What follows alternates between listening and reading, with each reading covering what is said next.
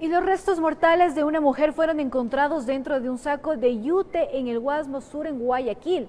La Policía Nacional presume que el crimen respondería a problemas sentimentales. El espeluznante hallazgo obedecería a un crimen pasional. Según la Policía Nacional, la responsable del asesinato celaba a su novio con la víctima, situación que la habría hecho perder los estribos.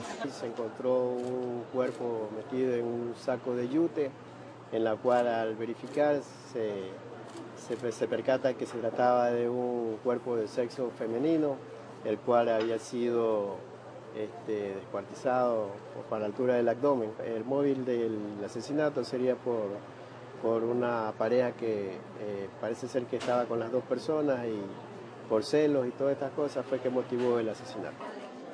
El hallazgo se registró al mediodía del miércoles en la cooperativa Causa Proletaria en el Guasmo Sur, en Guayaquil. Sí, le conoció a un chico y ese chico dice que le había dejado a ella y se había sido con esta otra chica, se había estado en amores con la otra chica, así dicen. Así dicen que con la víctima. Dicen que esta cosa ha sido por cosas sentimentales. La que la, la final está media desquiciada.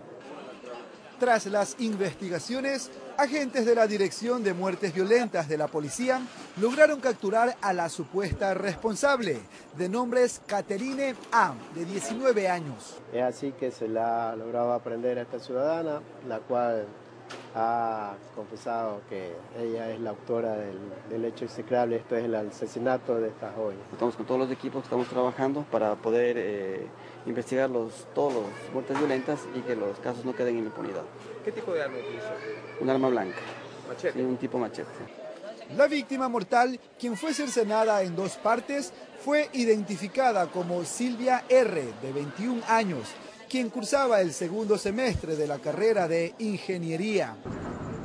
Las autoridades investigan la posible participación de más personas en el crimen. Informó Jorge Salazar.